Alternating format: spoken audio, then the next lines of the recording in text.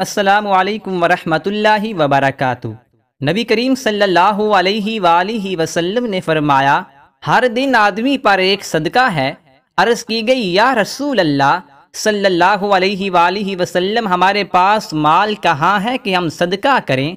तो आप सल्लल्लाहु अलैहि वसल्लम ने फरमाया, भलाई के दरवाजे बहुत ज़्यादा हैं। सुबहान अल्लाह